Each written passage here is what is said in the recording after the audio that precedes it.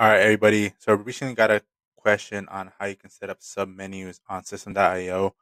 They currently don't have submenu options. However, I use HTML to create something like this. That way you can add multiple links within one menu. It just makes things more efficient. So um, this is the back end of Systeme.io. This is the where I put the page. So you can see here, this is a raw HTML element here. If we click that and go to edit code, we're able to see the code that I added here. I'm just gonna go walk walk over this for you guys. So pretty much in, in these style brackets from here to here, it's all the styling. So the color, the font size, font type, and stuff. Uh, I don't think you need to worry about anything specifically, especially if you're just trying to do something like this, or just like uh, right aligned and just simple links. I'm just going to show you how to edit the links and change the colors as well. So we're going to go back to our editor. I added this comment here. This is where we're going to edit the intersection, which is this thing here, this section. And this is where you can change the color, right? So if we change, for example, if we do red here, and we hit save and save this page again, we're going to um, refresh this other one. And we're going to see that it changed that inner box colors, box colors to red. Uh, but you can go ahead and play around with that, see what works for you and what doesn't. So let me just change this back to orange. And let me see what else. Oh yeah, so this area here, I'm actually gonna put this a comment right now while we're at it. Hover color. So this is a color that's gonna be highlighted once you hover over that specific section. As you can see here, I highlight over this and it's orange. Let me just refresh this. So if we want to, I don't know, let's do blue just to show you how it works. So I just save that, save this again, and we're going to refresh this. And now as you can see, it changed that color to blue. So you can go ahead and play around with that as well. Now I'm going to show you how to add the links as well. Let me just change this back to how everything was. I had orange here. And then this section here, div section here, this is where we're going to add the links. As you can see, this is an unordered list from here to here. This is the whole menu items here. The LI means it's a list, which means this is just one menu item. So I'm, I'm going to add, add this code to the bottom of this page so you guys can see how. Uh, yeah, yeah. So you can just copy and paste this.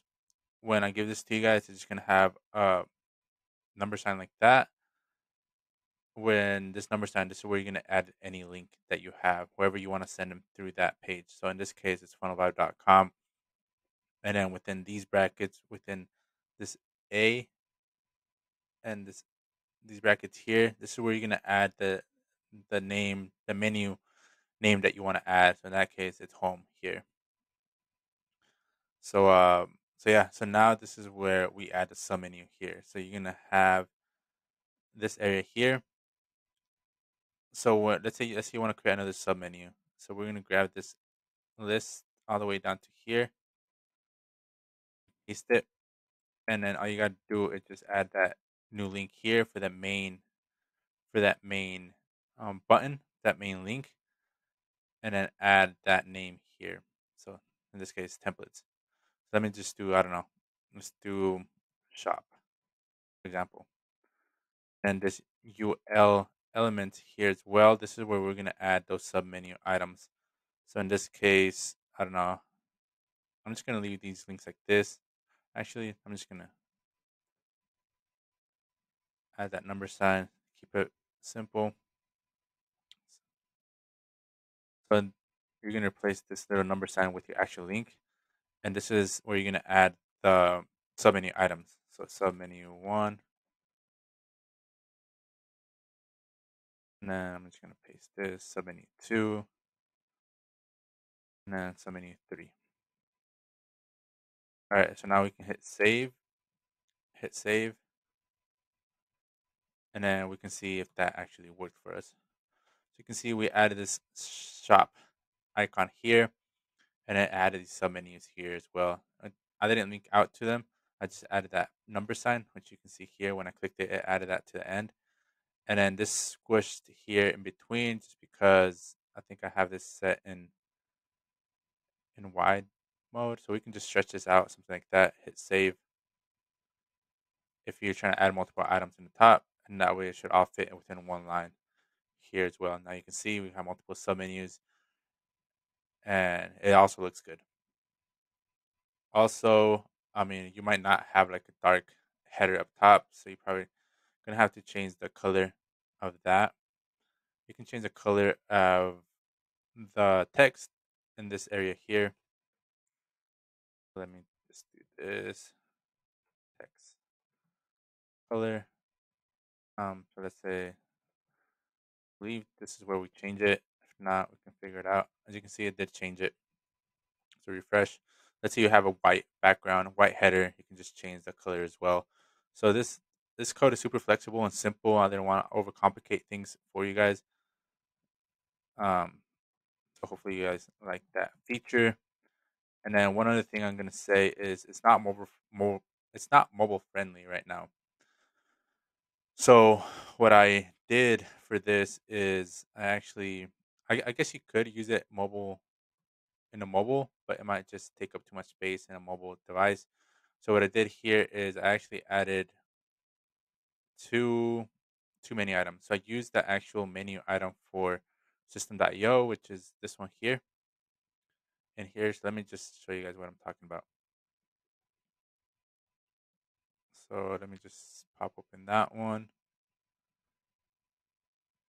And then let me just decrease that one. So the other two elements you're going to have here in the menu. Uh, one of them is going to be shown in the mobile version, and the other one's going to be shown in the desktop version. So we want this this submenu one to be shown in the desktop version, so we can just click on that and remove it from the mobile device. That way, it's only shown on desktop, and then we can click on this mobile one and just add the same links you have in that uh, that element here on these menu items, and then you're gonna go down and you're gonna hide it from the desktop. You're gonna hit save. That way, when when somebody lands on this page and then desktop version, they can see this submenu items. And then if they do end up in a mobile version, let me just go like that. It's gonna show them that mobile version, which is this hamburger menu here, where they can click on. It's gonna show them the links here. So hopefully that helps. Like I said, I'm gonna post this code here that I added for you guys to use. You guys can just copy and paste this and use it for yourself.